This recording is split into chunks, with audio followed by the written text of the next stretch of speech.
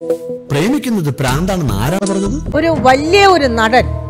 നിങ്ങൾക്കൊന്നും അറിയണ്ടാവോ? അറിയുമായിരിക്കും. ഞാൻ പേര് പറയുന്നില്ല. ആ നടൻ ഒരു പെണ്ണിനെ സ്നേഹിച്ചു. വേറെ മതം ഉള്ള ഒരു സ്ത്രീയാണ്. കാത്തിരുന്നു അയാൾ. എന്തിന്? ആ നടന്റെ അമ്മയ്ക്ക് ഈ കല്യാണത്തിൽ സമ്മതമുണ്ടായിരുന്നില്ല. കാത്തിരുന്നു അയാൾ. എട്ട് കൊല്ലത്തിന് ശേഷം ആ അമ്മ ആ സ്നേഹം മനസ്സിലാക്കി. അവരെ കല്യാണം കഴിപ്പിച്ചു കൊടുത്തു ഈ സിനിമ അതുപോലെ തന്നെ എടുത്ത് അടിച്ചു മാറ്റി വെച്ചേക്കുവാണോ ഈ പെണ്ണുപിള്ളാണ് നീ നാറിയെ കണ്ടിട്ടല്ലേ പഠിക്കുന്നേ? പ്രണയ പണ്ടാരം. കറക്റ്റ് അതുപോലെ തന്നെ ഉണ്ടല്ലേ? നേരെ കുറെ കൊള്ളാം. ഹായ് ജോകടൻ വെറുപ്പിക്കുന്നില്ല. വീഡിയോയിലേക്ക് പോകും നമുക്കൊന്ന് വായിച്ചേക്കാം യഥാർത്ഥ വ്യക്തികൾ അവരുടെ കാഴ്ചപ്പാട് അനുഭവങ്ങൾ പങ്കിടുന്ന പരിപാടിയാണ്. ഇതിൽ പ്രതിപാ- പ്രതി- പ്രതിപാദിക്കുന്ന പ്രതിപാ- പ്രതിഫലിക്കുന്ന കാഴ്ചപ്പാടുകളും അനുഭവങ്ങളും ചാനലുമായിട്ട് യാതൊരു ബന്ധമില്ല ഇതിൽ പങ്കെടുക്കുന്ന വ്യക്തികളും പരാമർശങ്ങളും വരുന്ന പേരോ വ്യക്തികൾ സ്ഥാപനങ്ങൾ പ്രസ്ഥാനങ്ങൾ എന്നിവയും ചാനലിന് ഉത്തരവാദിത്തമില്ല എന്താണല്ലേ ഇതിനകത്ത് ഉത്തരവാദിത്തം ഉള്ളത്? ഈ പരിപാടിയിലുള്ള കാര്യങ്ങൾ തന്നെ ഒരു ബന്ധമില്ലാത്ത കാര്യമാണ് പിന്നെയാണിത് ഉം. കൊണയടി. ഇത് കൊണയടി എന്ന പുതിയ പരിപാടിയിലേക്ക് സ്വാഗതം. സോറി ഞാനിത് രണ്ടാമത്തെ തവണയാണ് പറയുന്നത്. എങ്കിലും നമുക്ക് അതിനെക്കുറിച്ച് കുറച്ച് വിപുലീകരിച്ച് പഠനം നടത്തി പറയാം. എന്താണ് കഥയല്ല ഇത് കൊണയടി എന്ന അമൃതാറ്റിയുടെ പരിപാടി? ഇതിനകത്ത് ഉള്ള പ്രത്യേകം ഇതിനകത്ത് ഒരു സാരി എടുത്ത് വണ്ണമുള്ള ഒരു സ്ത്രീ ഉണ്ടാവും. അവരാണ് എന്റെ മെയിൻ സംഭവം എന്നാണ് നമ്മൾ വിചാരിക്കുന്നത്. പക്ഷേ ശരിക്കും അവരല്ല മെയിൻ സംഭവം. അവിടെ മൂന്ന് ജഡ്ജുകൾ ഉണ്ടാവും. അതിൽ ഉം, രണ്ടുപേരും ഉറക്കത്തിലായിരിക്കും. ഒരാൾ കോട്ട് ഇട്ടിട്ടുണ്ടാവും. അവരുടെ പരിപാടി അങ്ങനെ എപ്പോഴും നടുക്കത്തൊരു പുള്ളി ഉണ്ടാവും. പുള്ളിക്ക് കോട്ടും ഉണ്ടാവും. തലയിൽ കൂടെ ഉണ്ടാകത്തില്ല. തലക്കകത്ത് ഒന്നുമില്ല. പിന്നെ ഇവരുടെ പ്രത്യേകത ഇവരുടെ നെറ്റിയിൽ പൊട്ടുണ്ട്. അതെ. എന്നിട്ട് ഇവരാണ് സംസാരിക്കുന്നത്. ജഡ്ജസ് എന്ന് പറഞ്ഞിങ്ങനെ ഇരിക്കുന്നതെന്ന് മാത്രമേ ഉള്ളൂ. പ്രത്യേകിച്ച് കാര്യങ്ങളൊന്നുമില്ല. അത് കാണാനായിട്ട് വൺ മില്യൺ എബോ ആൾക്കാരും. യെസ് അതായത് പ്രത്യേകിച്ച് കാര്യങ്ങളൊന്നും ഇല്ലാണ്ട് വീട്ടിലിരിക്കുന്നവരല്ലേ അതുകൊണ്ട് ഇതൊക്കെ കാണാനായിട്ട് ആൾക്കാർക്ക് താല്പര്യം ഉണ്ടാവും. എന്നാൽ തെറ്റ്. അതല്ല സംഭവം. പിന്നെ എന്താണ് ഒരാളുടെ കുടുംബം കലങ്ങുന്നത് കാണാൻ നല്ല രസമാണ്. അതാണ് സത്യത ഇതൊക്കെ കണ്ടോണ്ടിരിക്കാൻ നല്ല രസമാണ്. കാരണം നമ്മുടെ കുടുംബം അല്ലല്ലോ കലങ്ങുന്നത്. കണ്ടവന്റെ കുടുംബമല്ലേ? അത് കണ്ടിച്ചിരിക്കാമല്ലോ എല്ലാവരും ചിരിക്കും. അപ്പൊ അതാണ് ഇതിനെ പറ്റിയുള്ള ഓവറോൾ എനിക്ക് പറയാനുള്ളത്. കുടുംബ പ്രശ്നമുള്ള ആൾക്കാരാണ് നിങ്ങളെങ്കിൽ തീർച്ചയായിട്ടും ഈ പരിപാടിയിലേക്ക് വിളിച്ചു പറയുക. എന്നിട്ട് നിങ്ങൾ അങ്ങോട്ട് ചെല്ലുക. എന്നിട്ട് കുടുംബം കലക്കുക. ഉള്ളത് കൂടി കോഞ്ഞാട്ടയാക്കുക എന്നിട്ട് നിങ്ങൾക്ക് ഗതികെട്ട് സഹിക്കാൻ പറ്റാതെ വരുമ്പോൾ നിങ്ങൾ കെട്ടിത്തൂങ്ങി ചാവുകയോ എന്തെങ്കിലുമൊക്കെ ചെയ്യാം. സമാധാനം നിങ്ങൾക്ക് എന്തായാലും കിട്ടാൻ പോകില്ല പരിപാടിയിലേക്ക് പോവാം. എല്ലാവർക്കും അയ്യോ. കഥയിലത് ജീവിതത്തിലേക്ക് എല്ലാവർക്കും സ്വാഗതം. അമൃത ടിവിയും കേരള സ്റ്റേറ്റ് ലീഗൽ സർവീസസ് അതോറിറ്റിയും ഒന്നിക്കുന്ന ഈ പരിപാടിയിൽ ജോക്കുട്ടനുണ്ട് മെമ്പർ ബഹുമാന്യ ജഡ്ജ് ശ്രീ ചെറിയാൻ വർഗീസ്? ഇദ്ദേഹത്തെ എവിടെയോ കണ്ടിട്ടുണ്ടല്ലോ. ഇത് ഞാനല്ലേ? എന്റെ പൊന്ന് ചോക്കട്ടെ വെറുതെ വിടത് ഞാനാ. അതല്ല advocate member Shri Kallada K G Alexander. ക്ഷമിക്കണം ആൾ മാറിപ്പോയി. ഇതല്ല അലക്സാണ്ടർ. അലക്സാണ്ടർ ഉറക്കത്തില്ല സാമൂഹ്യ പ്രവർത്തക ശ്രീമതി രാജേശ്വരി. ഇത് ഓൾറെഡി കാണിച്ചല്ലേ പരിപാടി തുടങ്ങും. ആഹാ പുതിയ കുടുംബ കലക്കിടത്തിനു ഇന്നത്തെ കഥ സൂപ്പർ ആയിരിക്കും അമ്മ നിങ്ങളെ അയച്ചു സേലത്തേക്ക് ഒറ്റയ്ക്ക്. അങ്ങനെയാണല്ലോ നിങ്ങൾക്ക് രണ്ടാമത്തെ പ്രാവശ്യം ഇയാളുടെ കൂടെ പാലക്കാട് ഇറങ്ങിയിട്ട് പോവാൻ പറ്റിയത്. രണ്ടല്ല മൂന്നാണ്. അങ്ങനെയല്ല പാലക്കാട് രണ്ടാമത്തെ പ്രാവശ്യം ഇറങ്ങിയില്ലേ? അമ്മ ചോദിച്ചു ജോലി എന്താന്ന്? അപ്പൊ ആ ടൈമിൽ പറയാൻ ജോലിയൊന്നും ഉണ്ടായില്ല. അപ്പൊ ഞാൻ ഇത്ര പറഞ്ഞോളൂ പനി പുറത്ത് ജോലി ഉണ്ടെന്ന്. അപ്പൊ അമ്മ എന്താ എന്താന്ന് വെച്ചപ്പോ ഒരുമാതിരി ഞാൻ പറഞ്ഞ അവിടുത്തെ കമ്പനിയിലെ എം ഡി ആന്ന് ഞാൻ ചുമ്മാ പറഞ്ഞതാ ചുമ്മാ പറഞ്ഞതാ.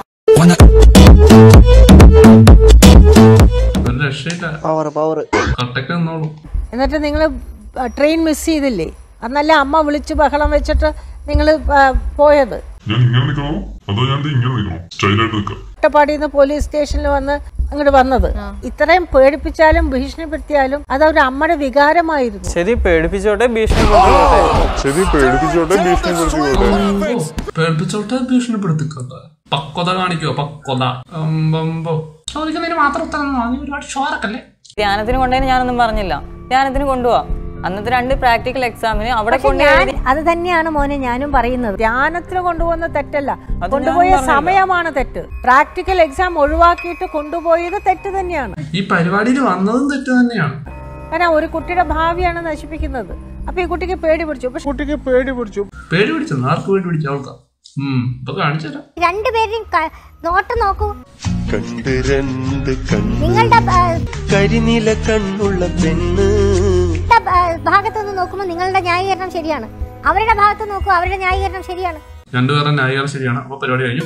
ഓക്കെ ബൈ ക്ലോസ് പരിപാടി കണ്ടിന്യൂ ഓ കാരണം ഈ കുട്ടി പറഞ്ഞു മണ്ടത്തരം ഒന്നുണ്ട്. പറഞ്ഞത് മൊത്തം മണ്ടത്തരം. ശരി അതിനുശേഷം ധ്യാനത്തിന് കൊണ്ടുപോയി. എന്നിട്ട് എന്തുണ്ടായി എന്താ ഉണ്ടായി? അതന്നെ ചോദിക്കണേ ഞാൻ പറഞ്ഞില്ലേ ഇവർക്ക് രണ്ടുപേർക്കും ഒന്നും അറിയാൻ പാടില്ല. ഏതാണ്ടൊക്കെ പറഞ്ഞോണ്ടിരിക്കോ എന്നിട്ട് എന്താ ഉണ്ടായി? എന്നിട്ട് എന്താ ഉണ്ടായേ? ഇതൊക്കെ കണ്ടോണ്ടിരിക്കണം. നമ്മളെന്താണ്? എന്നിട്ട് എന്തുണ്ടായി? എന്താ ഉണ്ടായി അതന്നെ ചോദിക്കണേ. ശരിക്കും എന്താണ് ഈ പരിപാടി? എന്താണ് ഈ പരിപാടി? അവളുടെ കുടുംബം നശിപ്പിച്ചു അവളുടെ ജീവിതം നശിപ്പിച്ചു അവളുടെ ഭാവി നശിപ്പിച്ചു അവളെ ഊമ്പിപ്പിച്ചു. എന്തോന്നടയാ നീ? ഗജപ്പല. സുഭാഷ് സുഭാഷ്. നിങ്ങളെ തമ്മിൽ പിരിപ്പിക്കാൻ പിരിക്കാൻ വേണ്ടിയിട്ട് തന്നെയായിരിക്കും അമ്മ അത് പിരിക്കാൻ തന്നെ പാല. അത് ഈ വാശി പിടിച്ച് നിന്നതുകൊണ്ടാണ് അമ്മ ആ വാശി മാറിയത്. രണ്ടുപേരും വാശി പിടിച്ചു. ഈ കുട്ടി വാശി പിടിച്ചു. അമ്മ ഞാൻ ഏതായാലും ഇപ്പൊ ഇതൊന്നും ആലോചിക്കണ്ട അമ്മ. ഞാൻ പയ്യനെ ഇഷ്ടമാണ് ഞാൻ അപ്പൈനെ പയ്യനെ തന്നെ കെട്ടുള്ളൂ. അത് ശരിയാണ്. എന്റേതായിട്ടുള്ള എനിക്ക് കുറെ സ്വപ്നങ്ങളുണ്ട്. പഠിക്കണം. ഞാൻ അത് ആദ്യം പഠിക്കട്ടെ. ശരി ആ ആ ശരി ശരി. അത് കേട്ടോ? അതിന്റെ ഇടയ്ക്കര ഉണ്ടാക്കാണ്ട് പറയട്ടെ. ഞാൻ ആദ്യം പഠിക്കട്ടെ. അത് കഴിഞ്ഞിട്ട് ചെയ്യാം. അത് ഞാൻ പറഞ്ഞു. അവിടെ വെച്ച് മഹിളാ മന്ദിരത്തിൽ വെച്ച് വിളിച്ചു പറഞ്ഞപ്പോ ഞാൻ പറഞ്ഞു രണ്ട് വർഷത്തിന്റെ കോഴ്സ് കഴിഞ്ഞ് കഴിഞ്ഞിട്ട് മതി. അതുവരെ ഞാൻ പഠിച്ചോണ്ട് വേറെ ഒന്നും ചെയ്യാൻ നിൽക്കില്ല എന്ന് ഉറപ്പെടുക്കാം അപ്പൊ ഞാൻ അമ്മോട് പറഞ്ഞു എനിക്ക് പഠിച്ചാൽ മതി വേറെ ഒന്നുമില്ല അതായത് ഉപേക്ഷിക്കാൻ പറ്റില്ല. അത് രണ്ട് വർഷത്തെ ഫുൾ പഠിപ്പ് കഴിഞ്ഞ് കഴിഞ്ഞിട്ട് അപ്പോഴേക്കും ഇർഫാൻ ഒരു ജോലിയാവും. അപ്പോഴേക്കും ഞാൻ എന്തുകൊണ്ട് അപ്പം പറഞ്ഞു സമ്മതിക്കില്ല? ഇർഫാൻ ഒരിക്കലും സമ്മതിച്ചില്ല എന്താന്ന് ഞങ്ങൾ രണ്ടുപേരും ഒരു വർഷം ജീവിക്കുള്ളൂ. അതുകൊണ്ട് ഒരിക്കലും സമ്മതിക്കില്ല. ആ നിങ്ങൾ ഉറങ്ങുവാണോ? അത് അമ്മയുടെ അടുത്ത് ഏതൊരു പള്ളിയിൽ അച്ഛൻ പറഞ്ഞു അത്രേ. ഞങ്ങൾ രണ്ടുപേരും ഒരു വർഷം ജീവിക്കുള്ളൂ. അതുകൊണ്ട് ഒരിക്കലും സമ്മതിക്കില്ല. അതൊക്കെ എന്തൊരു കഷ്ടമല്ലേ ഏകദേശം അങ്ങനെയൊക്കെ പറഞ്ഞു ഒരു വർഷം വരെ ജീവിക്കുള്ളത്? ഈ പോക്കുവാണെങ്കിൽ ഒരു മാസം പോലും നിൽക്കത്തില്ല പിന്നെ അവർ കുറെ എന്റെ പേരിൽ കഞ്ചാവ് കേസ് ഉണ്ട് സ്വാഭാവികം. അതുണ്ട് ഇതുണ്ട്. കേസ് ഉണ്ടെങ്കിൽ എന്റെ ഐഡന്റിറ്റിയിൽ വരേണ്ടതല്ലേ? ഐഡന്റിറ്റി ഐഡന്റിറ്റി ഏതാണ്? ആധാർ കാർഡാ? അതോ ഡ്രൈവിംഗ് ലൈസൻസാ? അവരടുത്ത് അവരുടെ ലിസ്റ്റ് എടുത്തിട്ട് വരാൻ പറ. എന്റെ പേരിൽ ഒരു കേസും ഇല്ല. ഉള്ളതാണോ ചേട്ടാ?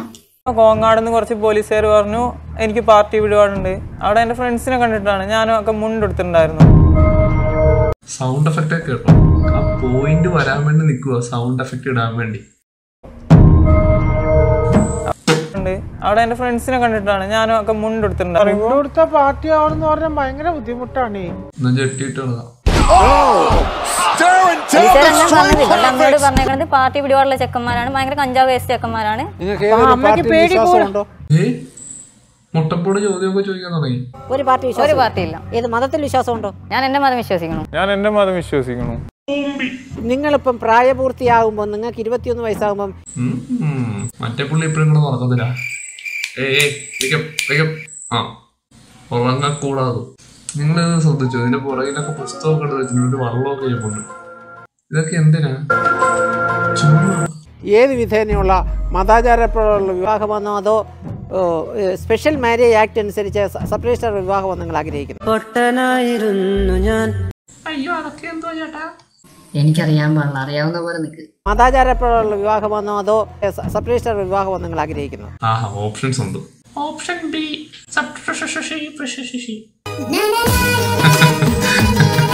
നല്ല അസൽ പൊട്ട ഞാൻ കൂടെ തുടങ്ങട്ടെ ആക്ട് അനുസരിച്ചാണ് മറ്റേതിനെ പറ്റി പിന്നീട് ചിന്തിക്കും പിന്നീട് ആലോചിക്കും ആഹാ അന്തസ് അവരെ സംബന്ധിച്ചിടത്തോളം അവർ പറയുന്നതൊക്കെ ന്യായമാണ് രണ്ടുപേരുടെ ന്യായീകരണം ശരിയാണ് അപ്പൊ പരിപാടി കഴിഞ്ഞു ഓക്കെ ബൈ ക്ലോസ് പരിപാടി കണ്ടിന്യൂ പത്തൊമ്പത് ഇരുപത് വയസ്സായിട്ടുള്ള ആൾക്കാരുടെ ചിന്താഗതി ആയിരിക്കില്ല ഒരു അഞ്ചോ ആറോ വർഷം കഴിയുമ്പോൾ ഒരു അഞ്ചോ ആറോ വർഷം കഴിയുമ്പോൾ ഹലോ ठीक है फाइव इयर्स ठीक है after five years I will show you I will convince you വാശിയേറിയുള്ളൊരു വെല്ലുവിളി. അപ്പോൾ അത്രേ കരുതി പക്ഷേ പ്രതീക്ഷയില്ലാത്തൊരു പ്രതീക്ഷ എവിടെയോ കിടന്നിരുന്നു.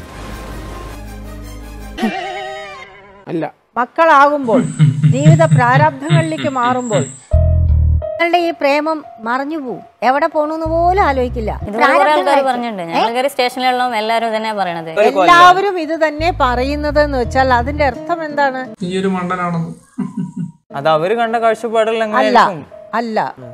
അവർ കാണുന്ന ജീവിതങ്ങൾ വെച്ചിട്ട് അനുഭവം വെച്ചിട്ടാ പറയുന്നത്. ഞാൻ ചോദിക്കട്ടെ. പ്രേമിച്ച് കെട്ടിയവരല്ലാണ്ട് അറേഞ്ച് മാരേജ് ചെയ്തവരും കുടുംബകലമായി പോകുന്നുണ്ടല്ലോ. പിന്നെ എന്തുകൊണ്ടാണ് ഈ പ്രേമം. അറേഞ്ച് തമ്മിലുള്ള എന്റെ പൊന്നു മോനെ മോനെ എന്റെ പൊന്നു മോനെ പൊന്നു മോനെ.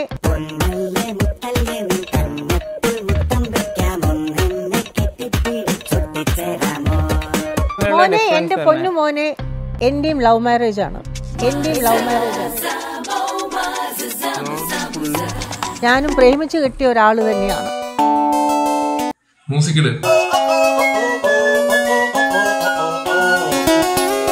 എന്റെയും ലവ് മാരേജ് ആണ്.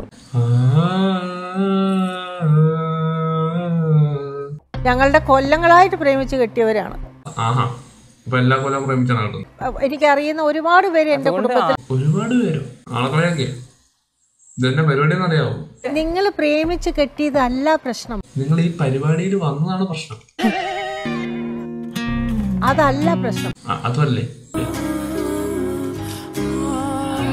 പ്രേമിക്കുന്നതോ പിന്നെ arranged ഇങ്ങനെ കബഡി നിർത്തിയ പക്ഷേ കബഡി കളിക്കാം? എന്നാ കബഡി കളിക്കാം?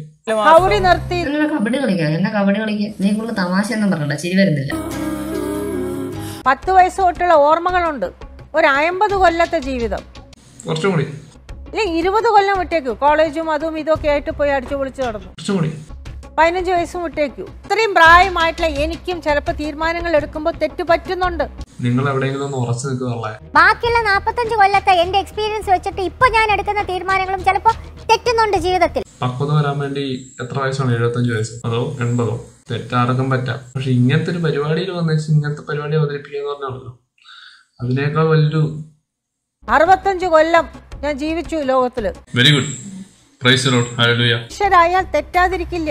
ആ തെറ്റ് പറയാൻ പറ്റൂല. കഥയല്ലിത്. അത് തന്നെ. ഈ പ്രോഗ്രാമിൽ വന്ന് ഞാൻ കണ്ടിട്ടുള്ള ഒരുപാട് ജീവിതങ്ങളും എല്ലാം ഈ പ്രോഗ്രാമിൽ വന്ന് കണ്ട ജീവിതങ്ങളൊക്കെ വെറുതെ കോമഡിയാണ്. ഫുൾ കോമഡി ഇതാണ് നിങ്ങളുടെ അനുഭവം. മനുഷ്യരായാൽ തെറ്റാതിരിക്കില്ല. അതുകൊണ്ട് എല്ലാ പ്രേമം മിണ്ടാതെ മിണ്ടാതെ പറയട്ടെ. നീ ഡയലോഗ് അടിക്കാതെ പറയട്ടെ. അനുഭവമുള്ള തെറ്റു പറ്റുന്ന ആളാണ് പറയുന്നത്. കേട്ടോ? പക്വതയുള്ള ടീംസാ എല്ലാം. ഇരിക്കുന്ന കണ്ടില്ലേ ഞാൻ ഇത് കുട്ടിയോട് നേരത്തെ പറഞ്ഞു. ഒന്ന് കളിപ്പിച്ചു നോക്കിയാലോ?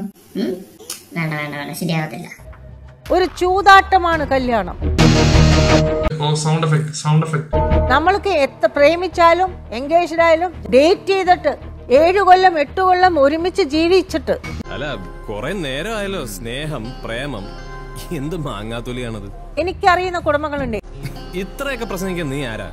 പതിനാറായിരത്തി എട്ട് പ്രേമത്തിൽ മുങ്ങിക്കുളിച്ച് വന്ന ആളോ? ഏഴും എട്ട് കൊല്ലം ഒരുമിച്ച് ജീവിച്ചിട്ട് ഒരു പ്രശ്നവും ഇല്ലാതെ പോയി. എട്ടാമത്തെ ഒത്ത കല്യാണം കഴിച്ച ആറാം മാസം ഡൈവോഴ്സിന് പോയി. കുട്ടി രണ്ടു വർഷമല്ലേ ആയുള്ളൂ? പത്ത് പതിനാല് വർഷം വെയിറ്റിംഗ് റൂമിൽ ഇരുന്നിട്ട് ഒടുക്കം ജീവിതം പോകയാണെന്ന് അറിയുമ്പോൾ പ്രാന്തായി പോയവരെ എനിക്കറിയാം. വന്ന് നിന്നിട്ടുള്ള കേസുകൾ എനിക്കറിയാം. ശരി മാഡം എക്സ്പീരിയൻസ് ഉണ്ട് അല്ല സീനിയർ അതുകൊണ്ടാ പറഞ്ഞേ നിങ്ങൾ പറയട്ടെ? നി- എടാ നീ അവിടെ ഉണ്ടായിരടാ നിന്നെ കൊണ്ട് ഇവിടെ ഒന്നും പറയിപ്പിക്കാലോ അത് മനസ്സിലായ? നീ എന്തിനാണ് ഈ ചീറ്റി പോകുന്ന പടക്കം പോലെ പൊട്ടണം നീ ഇടയിൽ കയറി സംസാരിക്കണ്ട. ആ കുട്ടീനെ കണ്ടുപിടിക്കും നിന്റെ പെണ്ണിനെ. വല്ലതും മിണ്ടണണ്ടാ? അത് മിണ്ടേണ്ട സമയമാകുമ്പോ മിണ്ടും. കത്തിക്കൊണ്ടിരിക്കുന്നത്. പൊട്ടേണ്ട സമയത്ത് പാളിപ്പടക്കം പോലെ പൊട്ടും. ഇവർ പറയുന്ന ന്യായീകരണങ്ങളൊക്കെ ശരിയാണെന്ന് ആദ്യം പറഞ്ഞിട്ട് ഇപ്പൊ പറയുക ഇവർക്ക് പക്വതയില്ല. നിങ്ങൾക്ക് നിങ്ങളുടെ ഒരു പക്വത കുറവാണെന്നാ ഞാൻ പറയണം നിങ്ങൾ പ്രേമിച്ചത് തെറ്റല്ല. അപ്പോഴേക്കും ലൈഫ് ആവി. നീരാവി. ആ നീരാവി. ശരി നിങ്ങളുടെ തീരുമാനങ്ങൾ ശരിയാണെന്നൊന്നും പറയാൻ പറ്റില്ല. ക്ഷമ കാണിച്ചേനെ. ഞാൻ അതിന്റെ കാര്യങ്ങൾ പറയാൻ വേണ്ടിട്ടാണ് അച്ഛനെ വിളിച്ചത്. എവിടെയാ സംഭവിച്ചതെന്നറിയോ? നിങ്ങൾ പ്രണയിച്ചോ? ആ പ്രണയിച്ചപ്പം രഹസ്യമായി ഇതാരാ പറയുന്നേ? സൗണ്ട് മാത്രം കേൾക്കാം. മറ്റേ കൂടെ ഉറക്കത്തില്ല. രഹസ്യമായിട്ട് റൈഡ് ചെയ്യാൻ പോയി. റൈഡ് ചെയ്യാൻ പോയി. അവിടെയാ? റൈഡിൽ പോയി. അന്ന് റൈഡർ. അതാണ് സാറേ? അല്ല ഇവളെ കോളേജിൽ പോയി തിരിച്ചു വരുന്ന സമയം. അതായത് അല്ലാണ്ട് ഞാൻ നിങ്ങളൊരു കൗമാരപ്രായക്കാരൻ കൗമാരപ്രായക്കാരിയായ ഒരു പെൺകുട്ടിയെ പഠിക്കാൻ പോകുന്നു. മാതാപിതാക്കൾ അറിയാതെ ഈ പെൺകുട്ടി വേറൊരു പുരുഷന്റെ കൂടെ ഒത്ത് യാത്ര ചെയ്യുന്നു. ഏതൊരു മാതാപിതാക്കളും സമൂഹത്തിന് ആശങ്ക ഉണ്ടാകും. ഞങ്ങൾക്ക് അല്ലാണ്ട് മീറ്റ് ചെയ്യാനുള്ള സമയം ഉണ്ടായിരുന്നില്ല. അല്ല നിങ്ങൾക്ക് മീറ്റ് ചെയ്യാൻ നിങ്ങൾക്ക് റെയിൽവേ സ്റ്റേഷൻ വെച്ചോ ബസ് സ്റ്റാൻഡ് വെച്ചോ റെയിൽവേ സ്റ്റേഷൻ വെച്ചോ ബസ് സ്റ്റാൻഡ് വെച്ചോ അപ്പോഴും ആൾ വേറെ പയ്യഞ്ഞോളാ കേട്ടാ. പണ്ടത്തെ നിരാശരാമനാണ് കറക്റ്റ് ആയിട്ട് പറഞ്ഞു കൊടുക്കും. പുറകെ റൈഡ് ചെയ്ത് കൊണ്ടുപോകുമ്പോൾ അതൊരു ശാരീരിക ബന്ധത്തിലേക്ക് എത്തും എന്ന് മാതാപിതാക്കൾ സംശയിക്കും. ശരിയാണോ? സംശയിക്കും. സംശയിക്കും ഹാ എഫക്റ്റ് ആ, ആ, അങ്ങനെ ഇടണം. എന്ന് മാതാപിതാക്കൾ സംശയിക്കും. ശരിയാണോ? കാണാൻ കൊള്ളാവുന്ന ഒരു പെൺകുട്ടി ചെറുപ്പക്കാരി കൊണ്ട് പോയി കഴിഞ്ഞാൽ നിങ്ങൾ ആപത്തിൽ പെട്ടിരുന്നെങ്കിലോ? സൗണ്ട് എഫക്റ്റ് ഇട്ട് വെറുപ്പിക്കുവാണല്ലോ നിർത്ത്. കുട്ടീനെ തട്ടിക്കൊണ്ടുപോയി റേപ്പ് ചെയ്തിരുന്നെങ്കിലോ? അതിനൊന്നും സമ്മതിക്കില്ലല്ലോ. അതിനൊന്നും സമ്മതിക്കില്ലല്ലോ. അതെങ്ങനെ സമ്മതിക്കാതിരിക്കും? നിങ്ങളുടെ ശാരീരികം വെച്ച് തടി നണ്ടില്ല രണ്ടെണ്ണം മതി. ഒറ്റ അടിക്ക് നിങ്ങൾ. സമ്മതിക്കില്ലല്ലോ. എന്റെ ഈ ബോഡി ഞാൻ ഇവൾക്ക് വേണ്ടി ഉണ്ടാക്കിയതാ. ഞാൻ തല്ലിയ വീഴും നിങ്ങൾ. ഞാൻ തന്നെ വീഴും നിങ്ങൾ സംശയമുണ്ടോ? ഒരിക്കലും എന്റെ റൗഡി ബേബി ഈ ബോഡി ലാംഗ്വേജ് കണ്ടിട്ട് ഒന്നും പറയാൻ പറ്റില്ല. ഭയങ്കര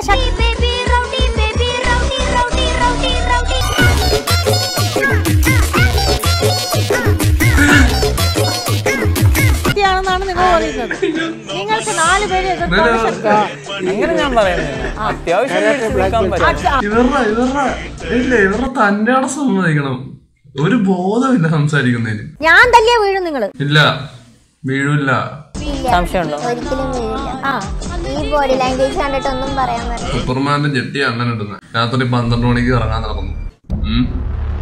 ബാറ്റ്മാന്റെ സന്തതി. സൂപ്പർ ഹീറോ ആണ് മോളൂസ് എല്ലാവരും ഇടിച്ചിടും. സൂപ്പർമാൻ ജെട്ടി അകത്താണെന്ന് മാത്രം. സംശയമുണ്ടോ? ഈ ബോഡി ലാംഗ്വേജ് കണ്ടിട്ട് ഒന്നും പറയാൻ ഭയങ്കര ശക്തിയാണെന്നാണ് നിങ്ങൾ പറയുന്നത്. ചിരിക്ക് ചിരിക്ക്. രണ്ടുപേരും ചിരിക്ക്. ചിരിക്ക് നീയും ചിരിക്ക്. ആ. എന്താ ചെയ്യാ? സംശയമുണ്ടോ? ഒരിക്കലും വീഴില്ല. കഞ്ചാവ് അടിച്ചാലും വീഴല പിന്നെ. രാത്രി പന്ത്രണ്ടര മണിക്ക് ഒരു പെൺകുട്ടീനെ കൊണ്ട് റൈഡിൽ പോകുന്നത് നിങ്ങൾ ആപത്തിൽ കേടി ചാടി തന്നെയാ. അന്ന് ഒന്നും സംഭവിക്കാതെ അവളെ സംരക്ഷിക്കാൻ പറ്റുന്ന എനിക്ക് ഉറപ്പുള്ളതുകൊണ്ടാണ് ഞാൻ അങ്ങനെ ചെയ്തത്. നിങ്ങൾ വിചാരിക്കുന്ന പോലെ അല്ലല്ലോ മോനെ. ഇത് അവിടെയാണ് പക്വത കുറവ് കാരണം അന്ന് അവിടെ എന്റെ രണ്ട് ഫ്രണ്ട്സും ഉണ്ടായിരുന്നു. ഇത് തന്നെയാണ് ഞാൻ ഈ പൊട്ടനാണെന്ന് പറഞ്ഞു this is the only way This the only this is the only way? Only way ആ, ഓൺലി വേ ഉമ്മ. ശരിക്കും സ്നേഹിക്കുന്ന ഒരു പെൺകുട്ടീനെ നിങ്ങൾ അങ്ങനെ കൊണ്ടുപോവില്ല. സത്യമായിട്ട് ആ സൗണ്ട് ഞാനല്ലേ കേട്ടോ സത്യമായിട്ട്. എന്തൊരുടെ ഇത്.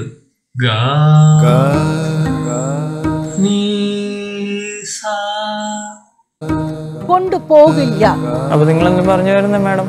നീ പൊട്ടനാണെന്നാ ഞാൻ പറഞ്ഞു മാഡം ഇപ്പൊ പറഞ്ഞല്ലോ. മാഡം ഇപ്പൊ പറഞ്ഞു. നിങ്ങൾ പത്തു കൊല്ലം നിങ്ങൾ ഇതുപോലെ തന്നെ സ്നേഹിച്ച് ജീവിച്ച സന്തോഷം. അതിൽ യാതൊരു തെറ്റിദ്ധാരണയും വേണ്ട. മാഡം ഇപ്പൊ അവർ വിശ്വസിക്കുന്നതാ മാഡം? പക്ഷെ മാഡം നമുക്ക് പക്വത ഇല്ലാത്തത് അവർക്കാ പക്വത അതെ. അങ്ങനെ ഞാൻ പറഞ്ഞു അങ്ങനെ ഞാൻ പറഞ്ഞു ഞങ്ങൾക്ക് ചിരിയൊന്നും വന്നില്ല. ആ ചിരി ഒറ്റയ്ക്ക് ഇടിച്ചാ മതി. അയ്യടാ. ഉറ- ഉറങ്ങിയ ആ.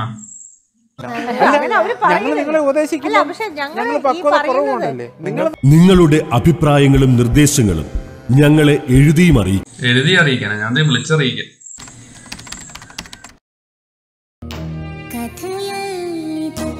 जिया जाए ना जाए ना जाए ना ഇവന്മാര് കോളർ ട്യൂൺ വരെ ഇങ്ങനെ ആക്കിയിട്ടേക്ക് पिया रे ഹലോ കഥയില്ലത് ജീവിതം എന്ന പരിപാടിയിലേക്ക് സ്വാഗതം.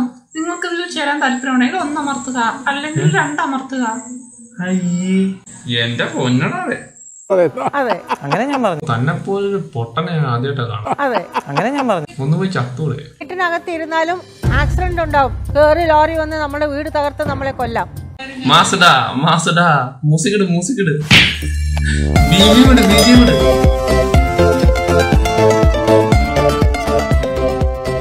ജീവിതം ഒരു അഡ്ജസ്റ്റ്മെന്റ് ആണ്. അത് അങ്ങനെ തന്നെ കൊണ്ടുപോകുക അല്ലാണ്ട് ഇമാതിരി പരിപാടിയിലൊന്നും പോകരുത്. അപ്പോൾ കൂടുതലായിട്ടൊന്നും പറയാനില്ല. ഇഷ്ടപ്പെടാത്തവർ ലൈക്ക് ചെയ്യുക ഇഷ്ടപ്പെടാത്തവർ ഷെയർ ചെയ്യുക ഇഷ്ടപ്പെടാത്തവർ സബ്സ്ക്രൈബ് ചെയ്യുക. അപ്പോൾ അടുത്തൊരു വെർപ്പിക്കലായിട്ട് വരുന്നവരെ. ബൈ